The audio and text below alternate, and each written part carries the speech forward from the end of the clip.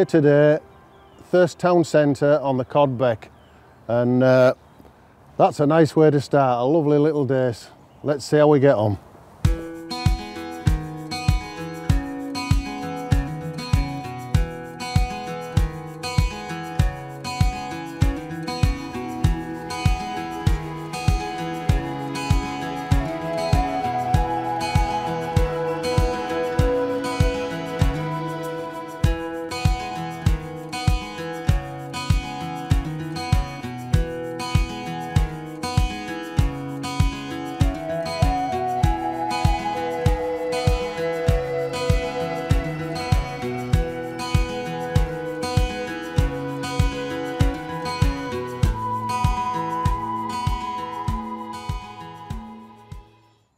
Said in the intro, we're on uh, the Cod Beck, Thirsk, and uh, I'm not exactly in the town centre, but we're uh, just on a peg in the play park, just out of town.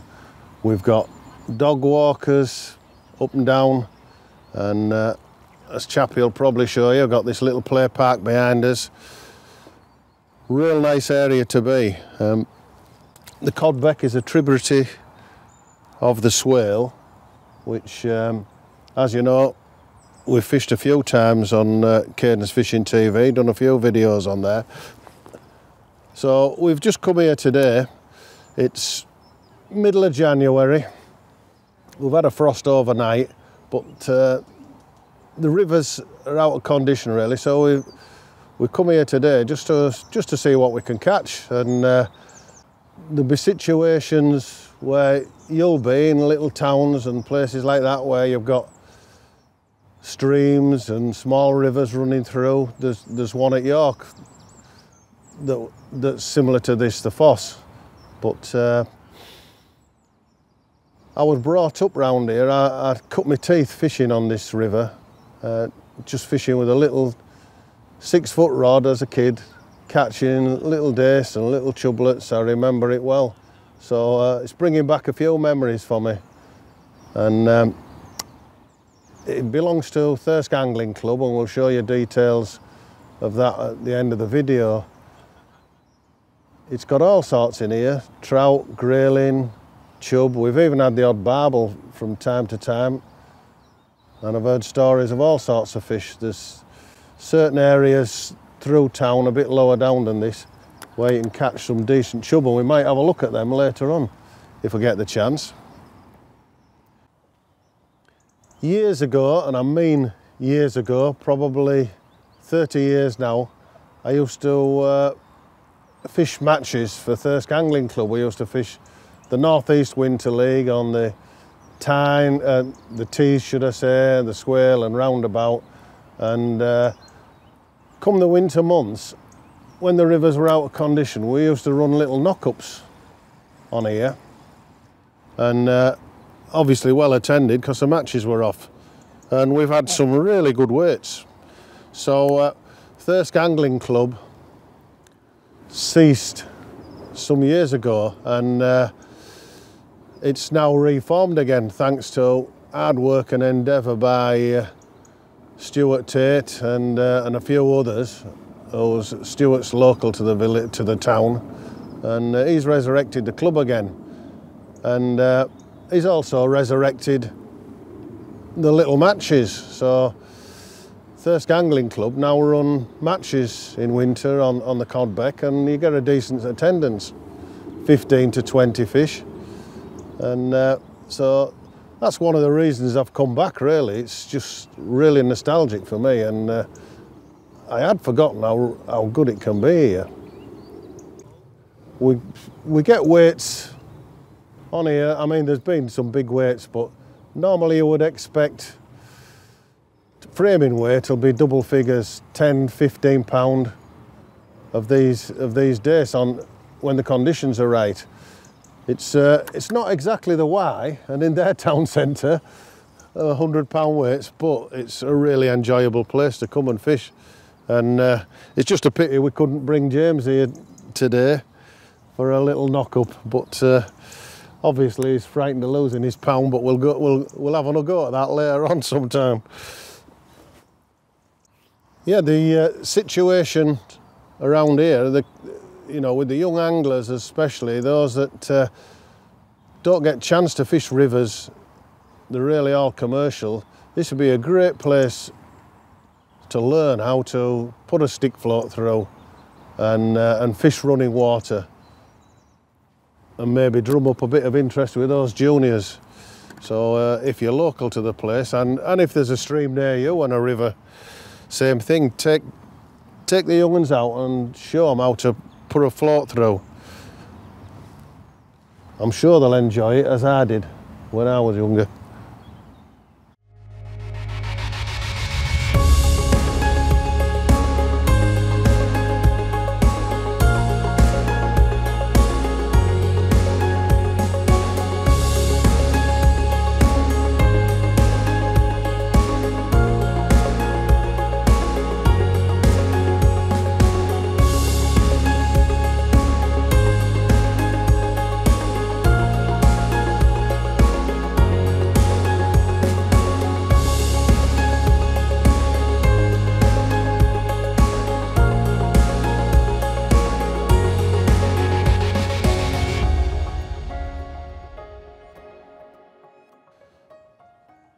It's surprising what you can catch in these small rivers and streams around towns. We had a few nice days and my first little chublet. Although I've brought quite a bit of gear with me and I, and I just can't resist it, really when you come into places like this, all you need is, especially on the, on the smaller rivers, is just a nice little short float rod couple of floats with you, nice and light, bit of shot, landing net, bit of bait, bait apron, and, uh, and away you go. You can roam about, trying different pegs and uh, different swims. We're going to do that later on, I think. We'll have a wander down and uh, we'll show exactly what I mean. But uh, the beauty of it is you hardly need anything at all. When I used to come as a kid, I used to come on my push bike and I just had the one rod, a tub of maggots, and, uh, and that was it, a few little bits and pieces in a bag. You need next to nothing. It's really simple fishing and, uh, and a great way to try and master running water, learn how to control a float and the rest of it. Because uh, it's not the easiest of fishing, stick float fishing, if you've never done it before, but uh, it can be mastered on places like this, the ideal place to learn. My first real fishing rod was, um, I think it was either, I think it was seven foot, it might have been seven foot, and it was fiberglass and it had brass ferrule on it. I remember it well. Um, I don't know whether, I can't remember whether it was three piece or two piece now, I would imagine two piece. And uh, I remember my mum taking me to Boroughbridge and uh, I saw this reel, it was a, I'm sure it was green and I, it was a French and it was called crack or something like that. Uh, something like that, a close face reel. It was absolutely brilliant for what I was doing. And uh, it stopped me getting in tangles, that reel. I remember it well and I caught loads of fish on that. Many happy fishing trips with that nice little fiberglass rod. And by total contrast to uh, how I started on the rivers with that fiberglass rod and that, and that French reel, today all the modern equipment we've got and especially the rod I'm using today, which the one I'm using at the moment is uh, the 11 foot match number one. Really soft, perfect for these days and these situations. Uh, and I've coupled that with a 3000 reel and it's absolutely ideal combination. The other rod I've got with me uh, is, the, is the next step up, it's the Match 2. Still 11 foot because that's what you want for little places like this. Nothing too big. The shorter rod means you can accurately cast under little bushes and trees and things like that, the far bank.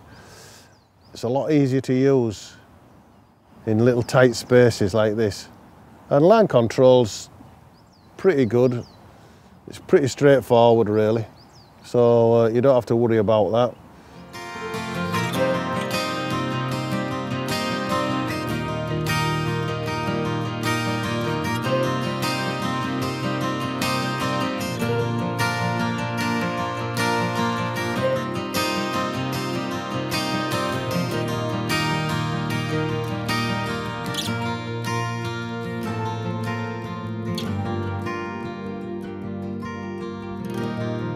Lovely quality grayling.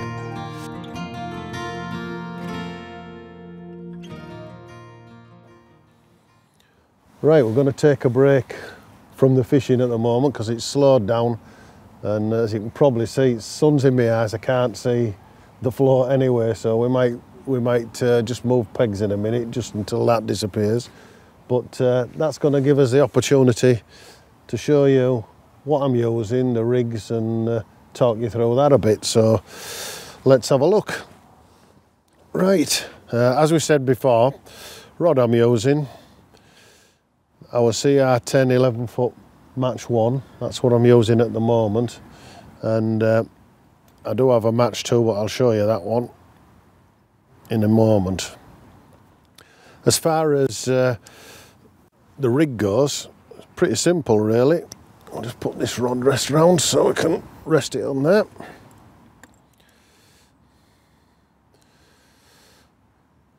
I'm setting off float wise with a, a pin stick that uh, sort of made myself and I'm having some of these professionally made anyway because they work really well. It just takes three number eight. It's got uh, an 08 wire stem in it which gives us pretty much instant control. It cocks straight away. And the beauty about these floats, uh, this type of float, is uh, when you fish in shallow waters and you strike, they don't make a, a noise in the water. They don't splash, they don't loop over. So you can get away without spooking those uh, dace and chub in those shallow swims. So today we're fishing depth-wise probably two and a half, three foot, which is tripping the bottom actually on this swim we're in. And, uh, and that'll be the case in a lot of these shallow streams and rivers that you fish around towns. This one is uh, very simply shotted up with three number eight. And uh, I've got one, that was actually set, that one set to the depth. I'm fishing as you can see there between the bottom of the float and the shot that's how much over depth I'm fishing probably three inches. So uh, you've got uh, one shot which I uh, sit at the bottom of the float for a depth marker. Halfway down another number eight. And then I'll just tighten that up so we can get a better look. Oops. and our last number eight is on top of a six inch hook length. And uh, at the moment if you can see it's a bit of a delicate hook is this one. It's a size 22 B511 Kamasan B511 on an 08 hook length. And I'm fishing really light at the moment because to be fair we're struggling for bites today. But uh, normally on here I'd be using an 010 and an 18 B560 is uh, is my go-to hook when I'm fishing for dace. So that sums up that rig. My reel line, by the way, is uh, Dave Harrell 014, which is a really good line, floating line. I've got uh, the other rod that we briefly discussed, and that's the CR10 11 foot match 2. I've got exactly the same float on, but uh, this is the rig I was going to use when we start bagging up. And this is same again, three number eight pin stick. Got a nice dome top on so I can see it at distance, but this is shotted with number 10s. As you can see, one's one shot just below, just as my depth marker once I plumb the depth.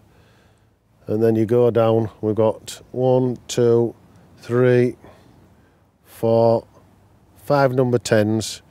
And again, that's sat on top of a six inch hook length. And this is my normal rig, which is 010 to a size 18 B560 hook. And uh, same again, Dave Harrell's 014 Pro Match line. The perfect combination. The reel, as we discussed before, is, is the uh, is the 3000 model. So that's what I tend to use on those short rods. That's the uh, the hooks we use. The B560 size 18 is uh, is my go-to on that. Single caster or double maggot works perfectly on those. My hook length is Silstar Match Team. I've used this for years. I keep trying different stuff, but I always go back to that.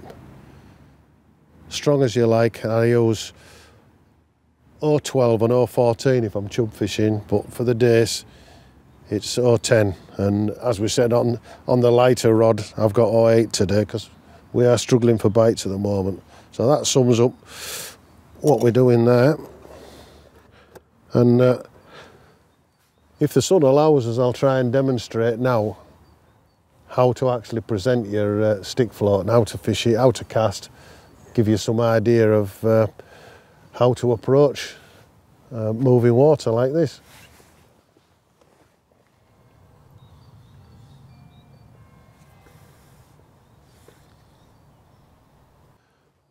Right, I'm going to now show you. Uh, I'm going to now show you how uh, how I go about casting out and for benefits, especially for those who have not even tried stick float fishing and, and the less experienced anglers, I'll demonstrate just how I do it.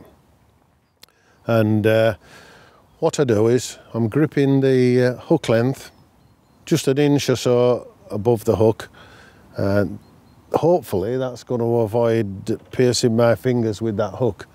I have done it now and again but uh, as, as you'll see when we demonstrate this, it's, uh, it's not the end of the world if you do that. You're not embedding the hook. Anyway, what we do is, I'm right-handed, so I'll explain it as a right-handed person.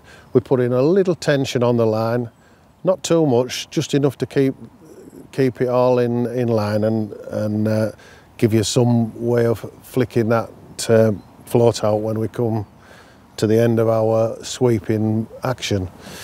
So we're moving the the rod to the left. I've undone the bail arm, as you can see, I've got my finger on the spool. And then the idea is we uh, cast out, and when the rod gets to where you want to stop, or really where you're aiming to land your float at, that's when we let go of the float. So we sweep out, cast, let go, and then just before the float hits the water, we put in the finger on the spool to stop the line and then we sweep him back towards ourselves and that makes the float run out and all the, the shot and the line and the hook length all land in a straight line and absolutely spot on to where you want to cast. It's not a method that you can cast 30, 40 yards with. It's just for fishing a rod and a half out, maybe two rods out. And We've just hooked a fish now while I was demonstrating that. And I've, I'm using the number one, as you can see. Absolutely brilliant for this. The, the action of the rod, so soft. I don't know what we've got, but it's quite a decent one. And bear in mind, I'm fishing an 08 hook length on here. I don't know whether Chappie can catch the bend in that rod, but you, you don't have a problem breaking off or smashing off with the fish. Unfortunately for us, we've got a fish that doesn't count. It's out of season. It's a trout, so it's at least it's demonstrating the action of that rod. It's jagging away there. There we go.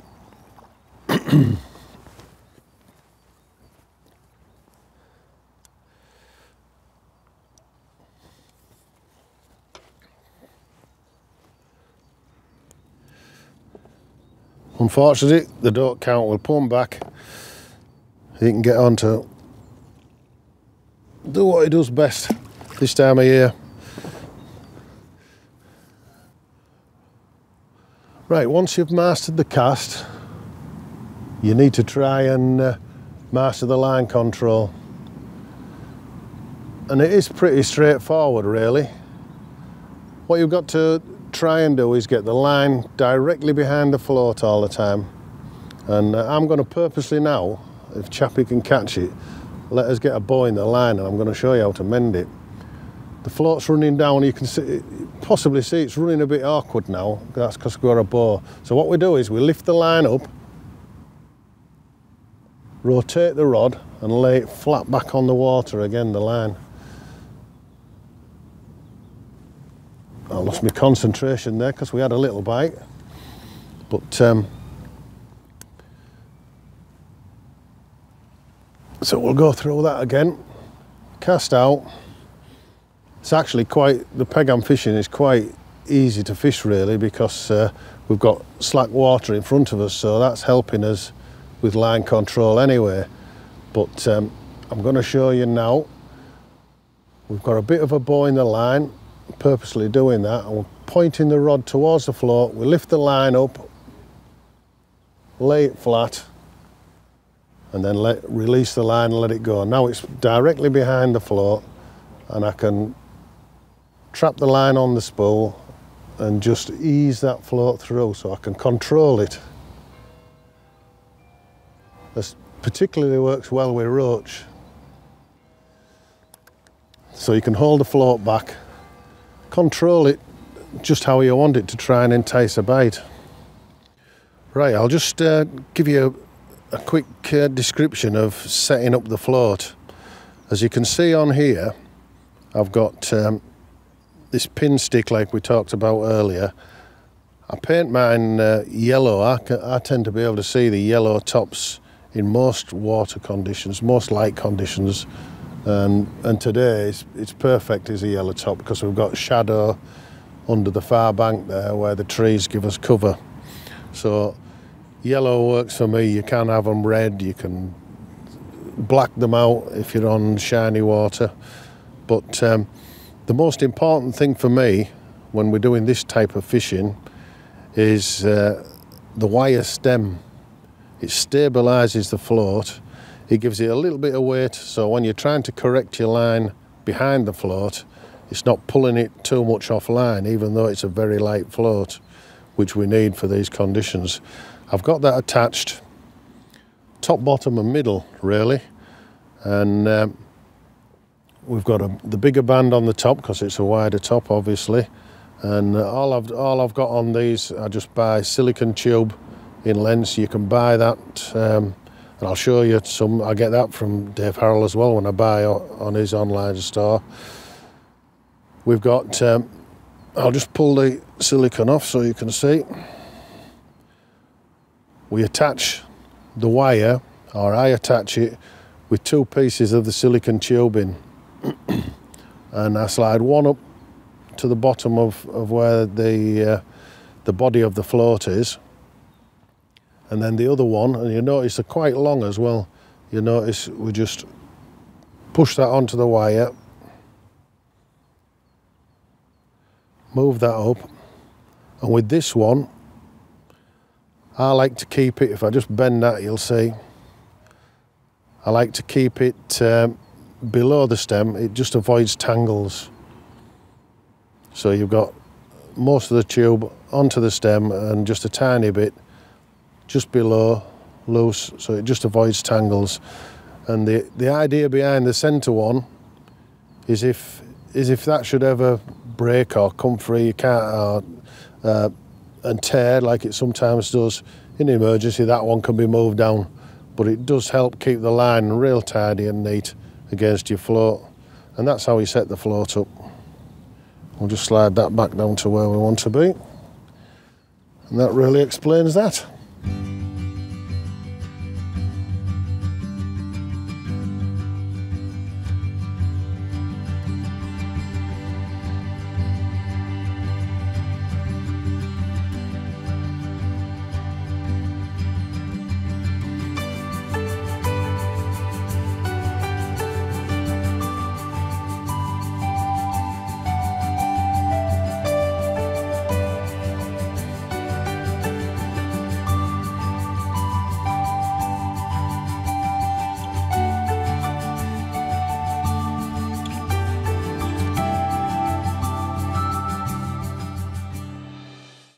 Right, I'm going to show you now how, uh, how to plumb the depth using a stick float rig. First of all, you want yourself a decent plummet, a decent heavy plummet. I use these type with the cork underneath. And um, what I'll do is, because obviously this is set to depth at the moment, so I'm going to alter the depth and I'll just demonstrate to you how we do it. So that should be going below the surface. So all it is, we've got the weight of the plummet in your hand there, and uh, same thing as with the casting technique, bit of tension on the line, and then sweep it out into the middle of where you're going to fish, and then let it go down, and the stream's going to take that float downstream, obviously, I've cast that in and we can't see the float, so that's telling me that we're too deep, uh, too shallow, should I say, set too shallow. So then it's a case of slide the float up, in this case it's six inches up, and we'll cast that in again. Let it hit the bottom, then let your line go slack and see if the float pops up. I don't know whether Chappie could see that, but I could it was just below the surface, so we're getting close. And this technique works for rivers up to up to the depth of your rod, really. So we've added a bit more onto that. Cast it out, hold the line tight, let it sink to the bottom, then let the line go slack. And we're still not quite deep enough, right. I've got a feeling this time we might be right. So I've moved it up again. I tend to move it up about four to six inches at a time when I'm getting close to where I want to be. Well, that just didn't quite break the surface. Just a bit more. Move that just an inch so I think we might be just about right.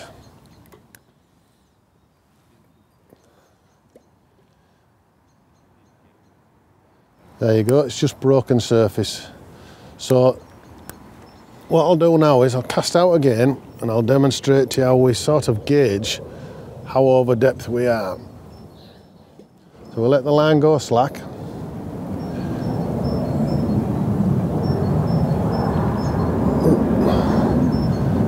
you can see the float sat on the surface and it will slowly go under again. It's dragging under. So then we can lift up and you can see with the float there, I've come in a bit closer in now, so it might be a bit difficult to gauge that one. We're not, we're offline.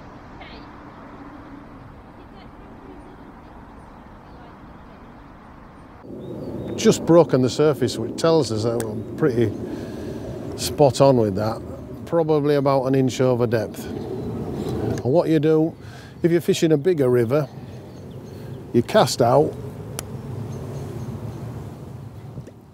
and you'll find, go to the far end of your swim and then just keep dragging that float across and dropping it back in the water and that will that's telling me that's a pretty flat, even bottom there, right across that river.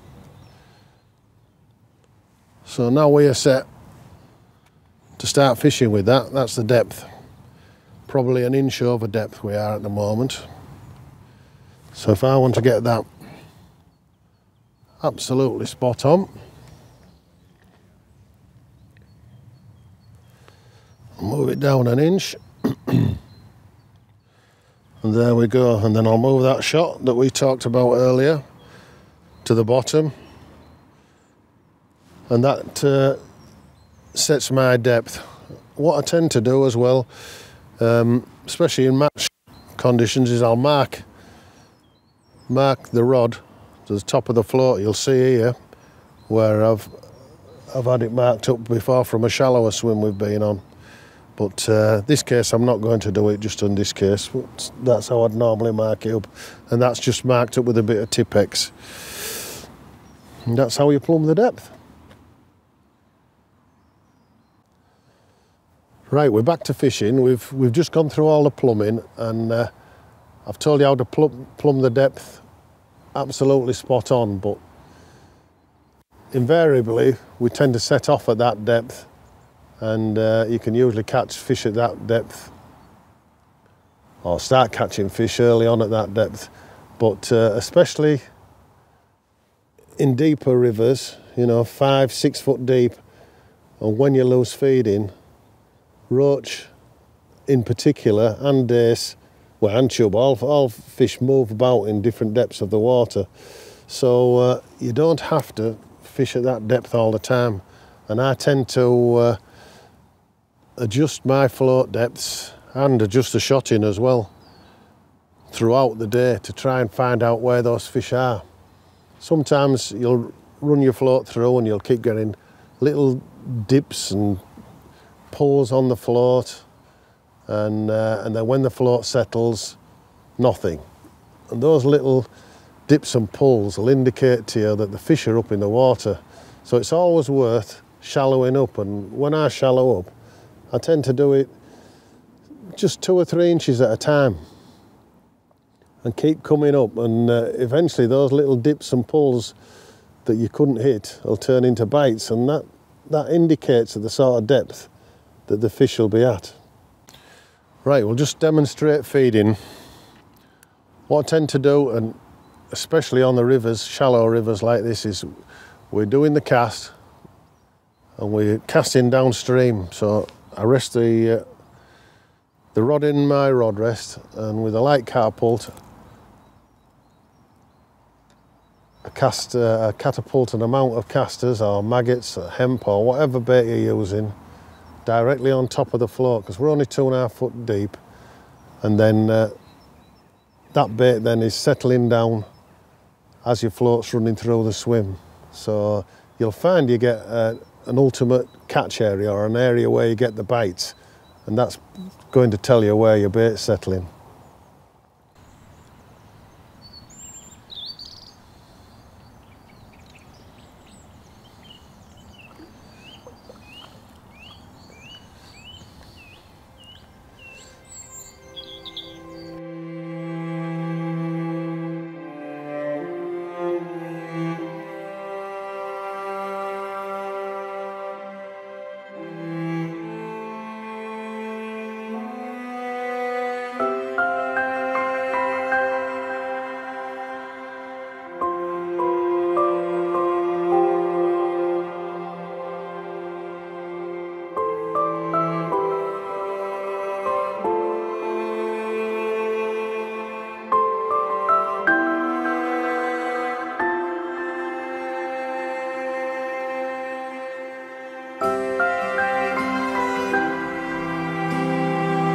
This looks like it might all fish.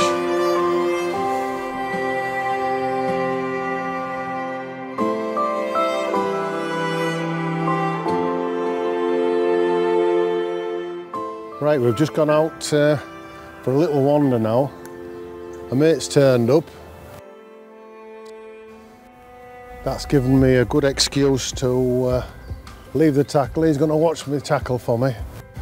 And uh, I've just come to explore a few little swims that uh, take our fancy.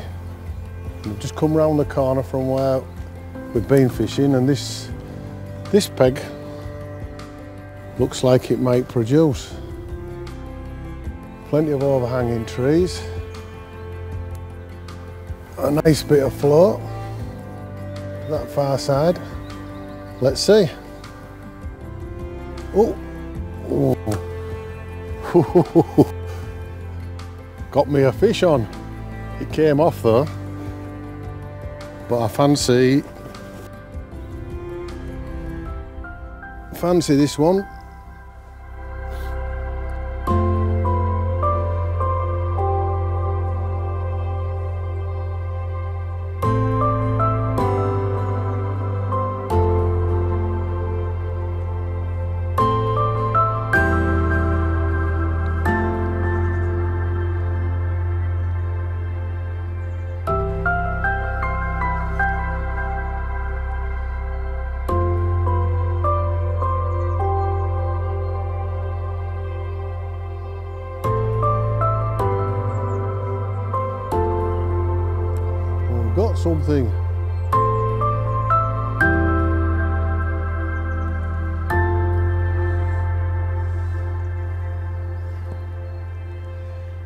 Benefits of roving about. Little dace.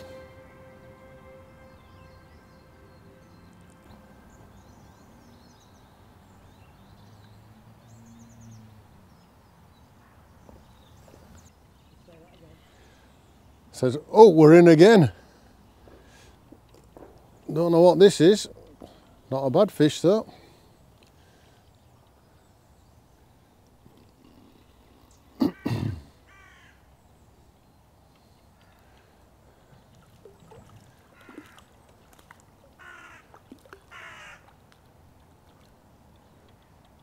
Another chub. The benefits of roaming around and not staying too static. The reason I've chosen this swim as we've moved on is uh, as you can see where, where my float's going through now you can see the bubbles along the water that's where the main flow is on the inside bank it's quite shallow it's gravelly which tell, I always like to see gravel anyway and uh, I'm assuming that because that's a cut there on the far bank, it's going to be quite deep, or deeper anyway, for as far as this goes. And uh, and so it's proved when I've put the float through, it's uh, quite a decent depth. It just actually actually screams fish, as you'd say. It's what you call using your watercraft when you're out roaming about. You're looking, we've got a few trees, plenty of trees in fact, plenty of cover for fish uh, food's going to get washed down in that bit of a current there on the far bank. I can put the float through great because the flow just, it, it just goes with the flow, it's perfect.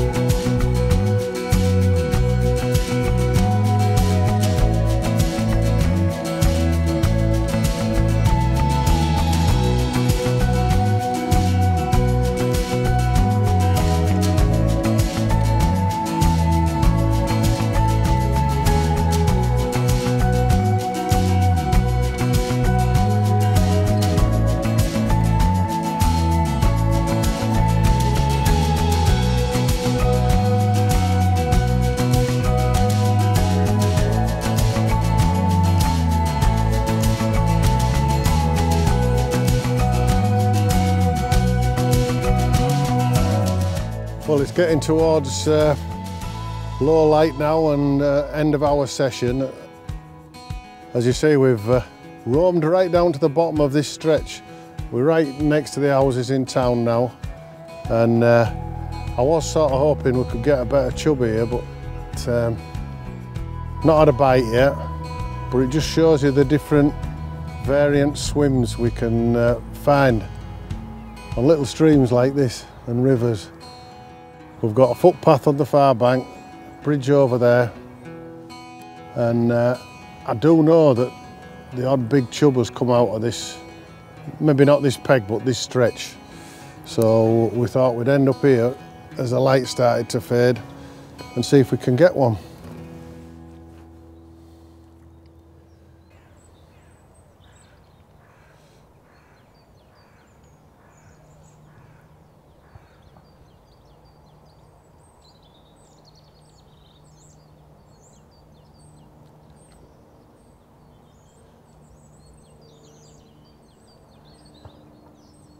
Just goes to show there's fish everywhere on this stretch. Well, there you go. I've had a really enjoyable day here on Cod Beck at Thirsk. We've got a variety of species in that net. Dace, grayling, chub, from, uh, from a variety of swims as you've seen. Unfortunately, we failed to get that big one at the end that we was after, but uh, we'll save that for another day. And thanks for watching. Right, let's have them back then.